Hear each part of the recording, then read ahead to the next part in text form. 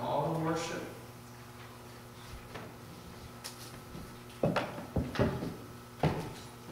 So, we've looked at, you know, the uh, misinterpretation of worship, what worship is, and and so tonight we start uh, a new topic, which is uh, the sacrifice of worship. And so I'm going to be asking you tonight to maybe share uh, where you feel like you've seen sacrificial worship. Uh, you can share, you know, your own personal story or what you gleaned from someone else. What do you think about that? Other than what you shared with me last night, maybe you can just paraphrase once we get there a little bit later. We're talking about Paul and Silas, that was a really good what you had to say. Um, so we're just going to be looking tonight just really at uh, the sacrifice of worship. I would say this is probably for uh, for for me. Uh, I would think even for most people, in my experience, that uh, the the sacrifice, the sacrificial worship, is probably the toughest part of worship uh, because it does require something. And it requires something that is given from us. That word sacrifice alone, we think about that when you sacrifice something, it means that you know you uh, you you you give uh, something, cut back that you may give in another area. You know, sometimes you know there may be one bill that comes, but you sacrifice in another area to pay that bill. Or you know, I uh, someone has said to me before, you know. Uh, when, when a mom sacrifices to stay home, you know, you sacrifice that, that, uh, uh, that revenue coming in because you uh, feel that the investment in raising children uh, is greater than that revenue of, of fiscal things coming in. So it's a sacrifice. Uh, certainly is uh, in, some ways. And uh, you, you may know what it's like to sacrifice to send your kids to school. Uh, you know, if you send them to college, the sacrifice that's given. Uh, there's a sacrifice in a lot of things in life. But God really wants our worship to be a sacrifice. We're going to be looking at that tonight. Uh, do I do I think that uh, always, Brother Craig, you were talking about that that rhythm, the cycle, and the seasons of life, where you say you kind of you know there's not a, a great uh, uh deluge of uh, uh, the the presence of God or things being escalated. Thank God they're not being tough things coming. I guess that's the positive side. But but you know sometimes when we're in those cycles, sometimes when the tough things come, that's when sacrificial worship begins. And, uh, and so we want to look at that tonight. How, how, do we, how do we get ourselves to a place where we're ready to give sacrificial worship? Well, I believe it becomes our lifestyle uh, as a believer that worship is a part of who we are, that even when it comes to those difficult times, that we can give sacrificial worship to God because it becomes ingrained in us who we are that we can worship. Everybody has their story, and uh, your story is encouraging. Everybody probably knows someone in the faith that's encouraged them by their sacrifice. And so I do want to hear that a little later this evening. Someone read uh, Hebrews 13, verse 15 through 16. By him, therefore, let us offer the sacrifice of praise to God continually. That is the fruit of our lips, giving thanks to his name. Amen. So by him, or by Jesus Christ, let us offer the sacrifice of praise. How often should we be sacrificing praise to God? Continually. That's always. Always in our life. So every day of our life, every season of our life.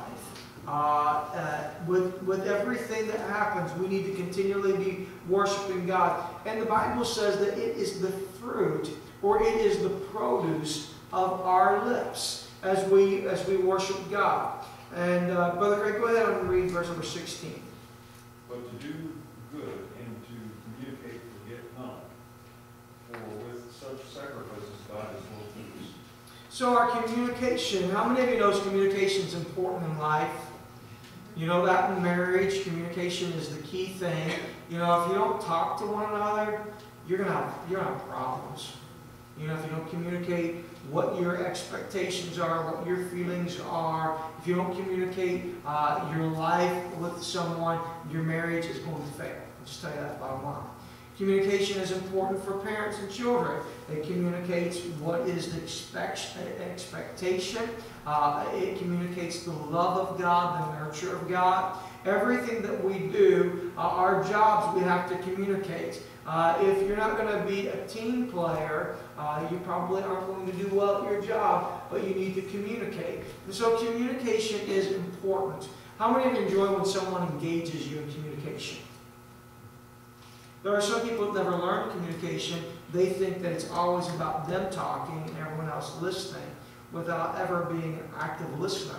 And then there's some who, um, you know, they, they, they don't communicate well, they don't share their feelings, they don't share uh, uh, uh, a wanting to collaborate, and so it, it gives a breach of relationship. So if we as believers, the sacrifice of worship depends not on how we feel, uh, but, but really uh, it is about us communicating with God sacrifices of our praise. The Bible says that those sacrifices of our praise, uh, it, it's well pleasing to God. Uh, I believe it's Mandisa. She has a song out and it's called A Broken Hallelujah. You know, hallelujah is the same in every language, right? But when we can worship God, even on our brokenness, even when we don't feel well or we're not experiencing things going well, if we can still worship God. And that's the theme of what she's saying. Learn to praise God continually, even in the brokenness, even when things aren't going right. And it's easy to be frustrated. It's easy to be angry at God or frustrated at God because we live faithful. When we, when we are believers and we're in the Word of God, when we're praying, when we're striving, doesn't mean everything's always right. No, we, we may have our struggles and our ups and downs. But when we're truly striving and we're pressing toward the prize and things don't go right, sometimes it's easy to be somewhat uh, upset with God. And so then it who comes in and robs the praise. But God really wants our praise even when things aren't going well because it shows that we trust Him even when we don't uh, quite agree with what's happening or we don't understand or we don't like it. And so uh, the sacrifice of worship does not depend upon how we feel. We may feel defeated. We may feel defeated. We must worship anyway. We may feel sick. We may feel sick. But we must praise anyway. Amen. Amen. Oh, yeah, you know well about that. You recently were very, very sick. And, uh, but you communicated worship and praise and trust in God. That's what God wants, brother. And that's been cultivated in your life. And so, I'm, I'm sorry? Only thing I know. Amen. That's only, the only thing you need to know, isn't it? Yeah. Amen. And there's, there's beauty in that for us as believers to behold. When, when Jacob, uh, Jacob worshipped when he was dying, when he was dying, someone read that, that Hall of Faith chapter, uh, Hebrews 11, verse number 21.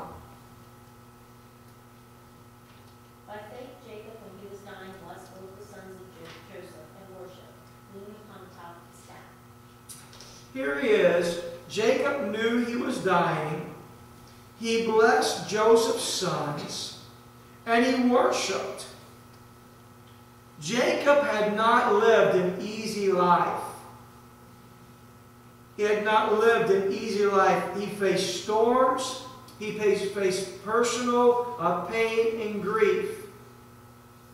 Think about the life of Jacob. His life is not one that, we know the supplanter, but he becomes a, a, a, prince with God. We think about him, uh, uh, in addition to his father-in-law slash uncle Laban, uh, betraying him, betraying him. Some of his sons had betrayed him. He had been through a lot physically, emotionally, mentally. financially and spiritually. Yet, in his dying moments, he as he reflected over his life, he didn't complain, but worshiped. Remember a couple Sundays ago I preached on He makes everything beautiful in His time, the cycles and seasons of life, and trusting God in that. Here's Jacob, and I'm not saying he did not cause a lot of his own heartache, because he did. He made a lot of bad choices. Uh, we, we find him in his life. And so he, he, he reflects over his life. And that's what people do as they're dying. Uh, you've been around anybody who's dying, or, you know, even folks as they enter the very late stages of life. Um, as, as you study uh, just the, the cycles of, of life, you know that they come to that season of life where they're reflecting. And when he reflects over life, he doesn't complain about it. He doesn't murmur. He's not in despair. But he makes a choice to worship. You know, let me just say this. Sister Tina, that's what I really like about going about seeing your mom. She never complains. She never complains. And, uh, uh, you know, I look at her life. She lost a son very young. And uh, she, she's lost another child. She's lost a grandson. She's lost a spouse. Um, but, you know, she's just so adamant of how good God has been to her. And uh, I won't share some of our moments, but we, we, we, had a really deep conversation a few weeks ago. And uh, she just mesmerized me. I love when people enter into a place of worship. It's so important. And she reassures me over and over again that she is just trusting God and all is well. How beautiful is that? And that is a life of worship. And here's Jacob. Yes, he found out that the, the wife that he did not want to marry really in, in, in, in, in, in the long run turned out to love him and bless him and be a, a, a, great blessing to him, even though it wasn't what he expected. How many of us in our life, you know, we're married to things. I'm not talking about our spouse. I'm just talking about situations we look to and we think, man, this is a bad thing. This is terrible. I don't like this, yada, yada, yada. But when in the end, we can reflect and we can worship because God actually has utilized that and that hasn't really become the greatest uh, curse in our life, but it really became the greatest blessing. Amen. Think about this when you are in a place where you are physically.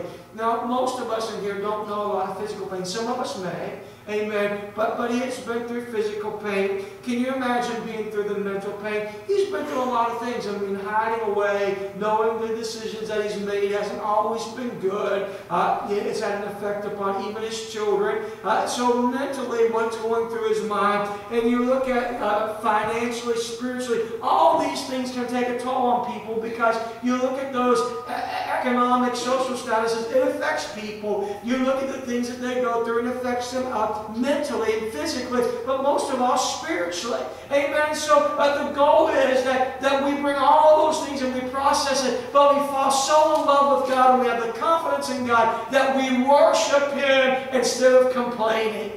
Amen. Amen. Praise God.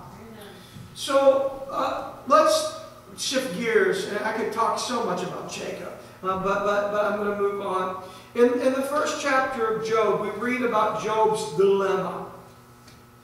He had received four, four, F-O-U-R, devastating messages.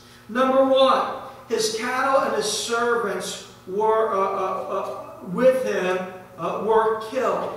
So all of his cattle, he has these cattle, brother uh, Eli, that are huge, and he has servants that he is able to pay to take care of them. They're all killed. I'll get I'll make an addendum here in a minute. Just go with me for a moment. His sheep and the servants with them were uh, burnt up. Number two, his sheep and the servants with, uh, with them were burnt up. Number three, his camel and the servants with them had been slain. Now, you know, really, that is all very devastating. You imagine taking a huge financial loss really, you know, uh, that is where, you know, there is security in those things financially, and he has worked hard to get there. We don't know the whole story, Brother Doug, before he got there, but he's been faithful, and he's worked, Brother Craig. And these are the things that he's worked for. And as he's worked for them, you know, uh, all of us can think about things that we put investments in. Uh, we put investments in our home. Uh, we put investments in retirement. We put investments in things that, that, you know, as we build our life and we get equity in it, it's, there's, there's a little bit of security. Not that we're looking for security in this life, but, but we make wise choices that mentally help us and they physically help us. And if, if whether you want to agree with it or not, but spiritually it helps us because we look and we're satisfied and it helps us on all the levels of our life. And so here it is that he's lost these things that, that are really his economic security and his economic status. But the real kicker comes at number four that all ten of his children are dead. So, as you know, was said tonight in two prayer requests, Sister Beth said about a 13 year old. You know, I don't even want to imagine. I don't even want to go there and imagine. I, I can't. I can't place myself. All I can do would be to comfort a parent. I cannot even imagine or pretend that I know what that parent's going through because I don't. And I hope I never know that. Amen. And Sister Tina, you said of yours, the cousin lost a 30-year-old, I don't care. I don't care if they're growing away from home. I, I, I can't imagine that. That is, all of us, I think, can relate. I'm not going to give any more details on that. But here's Job. It's all he has. And all ten are gone. I can't even imagine the waves of sorrow. I can't even imagine the piercing of spirit and soul. I can't even imagine how he must feel physically. Mentally. Mentally. How would I make any of us feel if the same thing happened to us? You know, brother, I don't know and I don't want to know. I don't I don't even want on that. You know, I, I don't even imagine things like that because that's craziness. I'll be a little transparent. Just in the own losing of a sibling just threw my world for a loop. So I can't even imagine ten children. You know, it's just, it's, it's unimaginable. I, I, I don't know how to paint a picture. You, you understand. There was only one, there was only one survivor from each of these calamities, and it wasn't one of his children. Now listen to Job's reaction.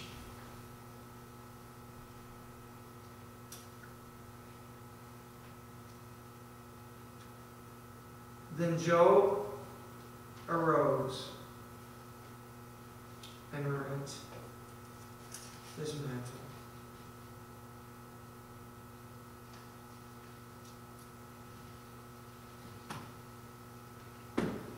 Shaved his head and fell upon the ground and worshipped. Agree with me or disagree with me, but I'll believe strongly on this. But he just endured enough that can kill a man.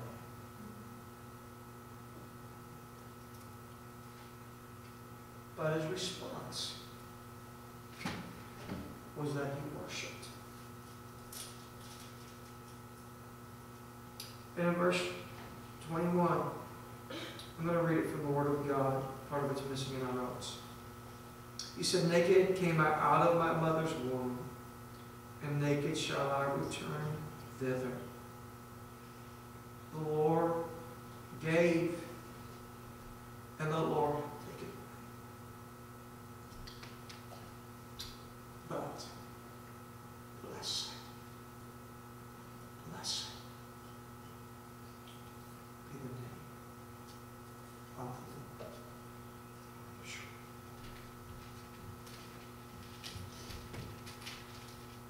I just.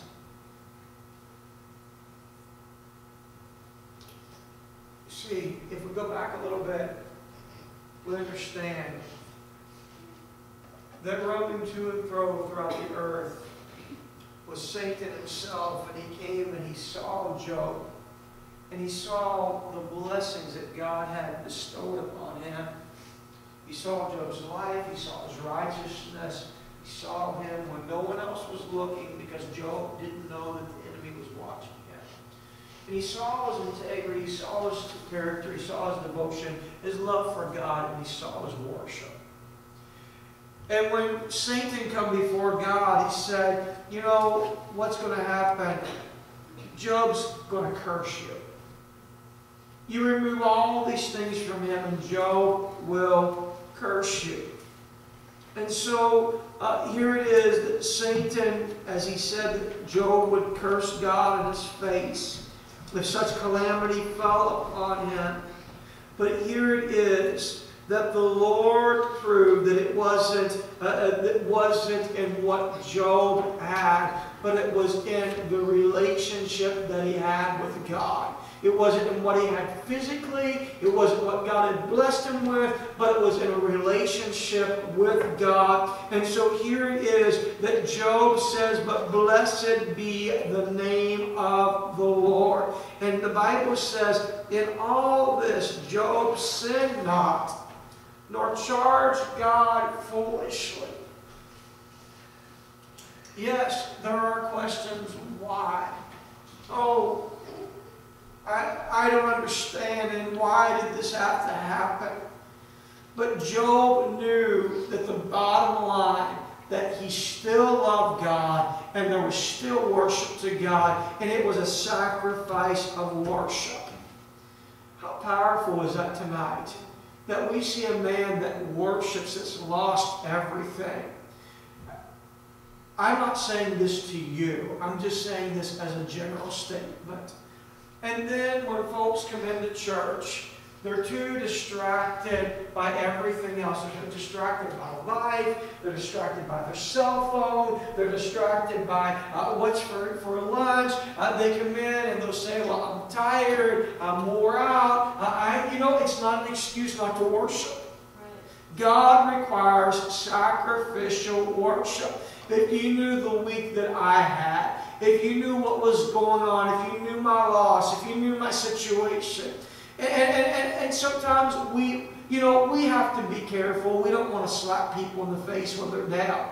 But the, the, the, the, the meat of the matter is tonight is that we learn that we need to worship God right now when things are good, or if it's even just mundane, as Brother Craig said. We learn to worship God so that when it is difficult, that we know how to offer the sacrifice of worship to God. That is real worship. That is real worship. Let me read this next uh, paragraph. We can feel overwhelmed. We can feel tired. We can feel depressed. Let me just say here, uh, uh, there is nothing wrong if you feel depressed. Do I think you need to live there? No. But sometimes in life, it can be overwhelming. It can be uh, uh, uh, very difficult. I, I, I, you know, really, for me, I think even in my life, after the loss of my brother, there was just a weight. I mean, for me, do I feel like, uh, I- let, let me be cautious of my verbiage here. It was overwhelming, physically, emotionally. Spiritually, I trusted God, but I just, it was, it was a struggle for me. But we have to worship. And I can tell you, I did worship. And it broke free. So if you feel like you're, you're in the molly gross, I, and I'm not saying I was clinically diagnosed with depression or something like that. I'm just simply saying it was a dark night of the soul for me. It was difficult days. But God brings us. All the way through, I knew that God was going to help me. But it was a process of getting through until there was a real, just freedom. I've said this over and over again. The two best friends on our side when we go through difficult times number one is God and time. We have to give ourselves time to get through the process. It is a maturing period. It is a growth period. It is a time that God is doing something in that season. And as we go through that season, and don't rush the season, don't get stuck. But allow God to walk with you through the valley of the shadow of death. It's not that, that, that you're going to die, but it's that, that place that, that is tough and difficult. David wasn't going to die there. He didn't feel like he was going to. He was just saying, in that difficult valley, you walk. And so here it is. Whether we're overwhelmed, tired, depressed, heartbroken, poor, uh, broke, abused, all those can uh, be, be links to one another. But the sacrifice of worship goes beyond that we feel, that we feel. It makes us say, this is what is happening in my life.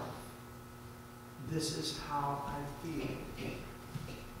But I still love you, God. I still want to serve you. I still worship you. You are faithful. You are still God. You are in control. You are in control. And I love you.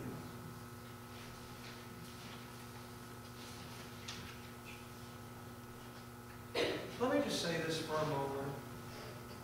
How many of you have ever gone through something that um, has been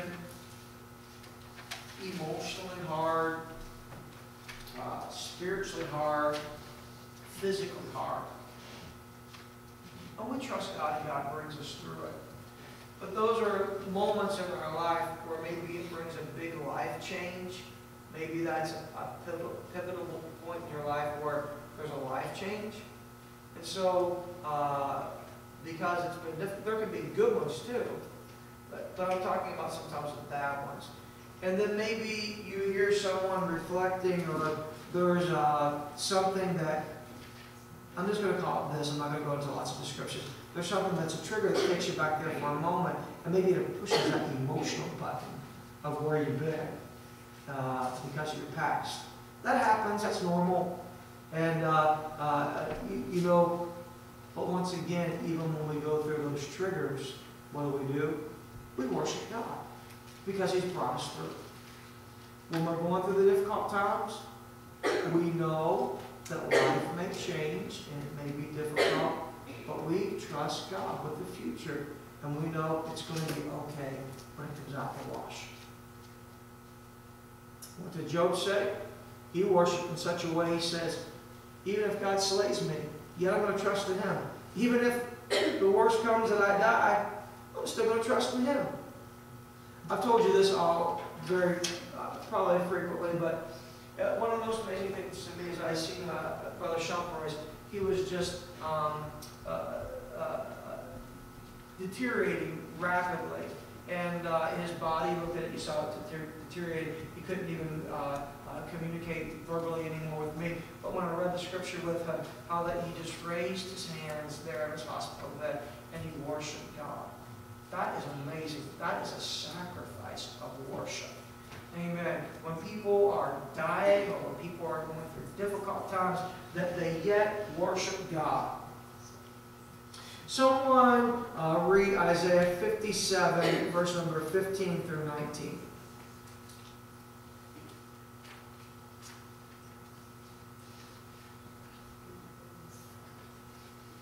For thus saith the high and ho- and lofty one that inhabiteth eternity, whose name is holy. I dwell in the high and holy place, with him also that is of a contrite and humble spirit, to revive the spirit of the humble, and to revive the heart of the contrite ones. For I will not contend forever, neither will I always be wrong. For the spirit should fail before me, and the souls which I have made. For the iniquity of his covetousness was I wrong, and smote him. I hid him in his rock, and he went not forwardly in the way of his heart. I have seen his ways and will heal him. I will and restore confidence into him and to his mourners. I create the fruit of the lips. Peace, peace to him that is far off, and to him that is near, saith the Lord, and I will heal. Oh, praise God. What a promise. What a promise. Someone read Philippians 3.10. Hopefully you'll let me, let me, uh, let me read that uh, sentence there. Worshiping isn't all about worshiping God when we feel, when we feel like it,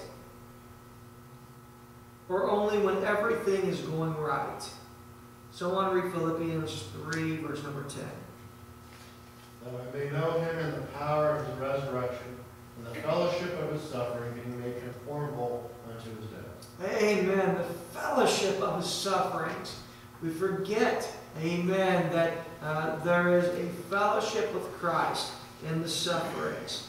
David Wilkerson said in a message, a true worshiper is one who has learned to trust God in the storm.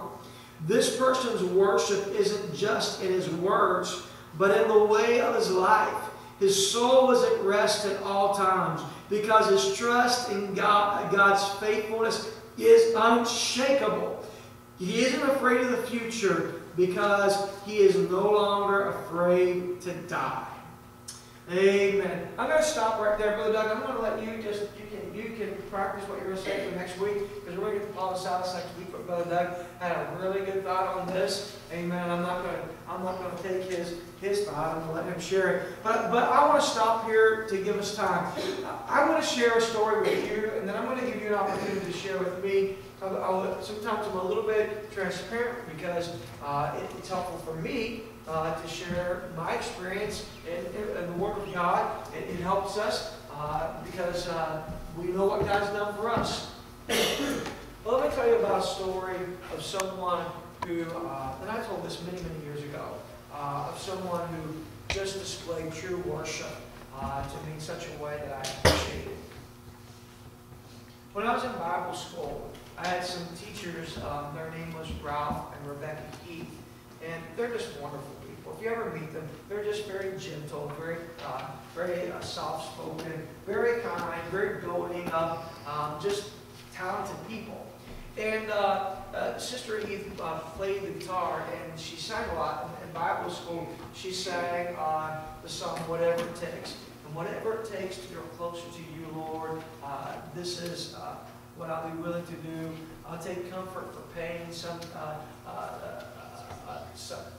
uh, uh, uh, if it's sunshine or rain, the, the getting ready to confuse my mind. But whatever it takes, that's what I'll be willing to do. When I was in Bible school, it hadn't been long that Brother Heath had come back from the mission field they had been in Sierra Leone, West Africa. They didn't come home by choice, but they came home because of just the, the, uh, the riots and uh, uh, the, the seriousness of uh, their lives being in jeopardy. And Sister Heath was asked to sing the song, Whatever It Takes. And uh, it took a little while to process this. I understand it even better now as I'm older. But uh, she shared her testimony of how it had been many years since she had sung the song.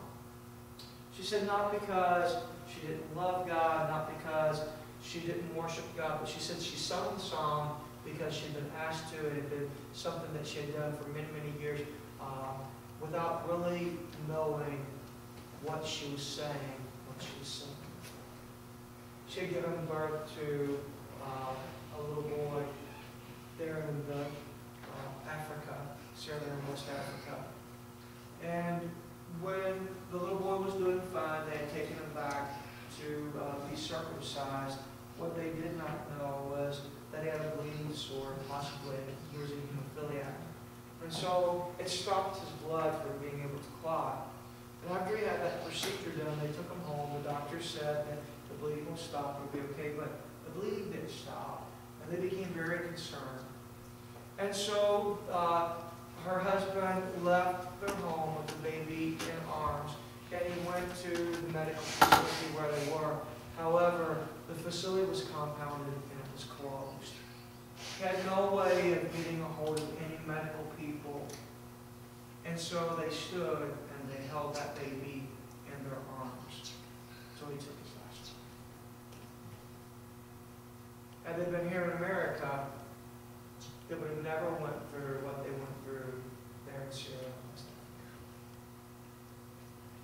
And that night, Sister Heath sang that song. It had been many so I'm now able to sing the song to you.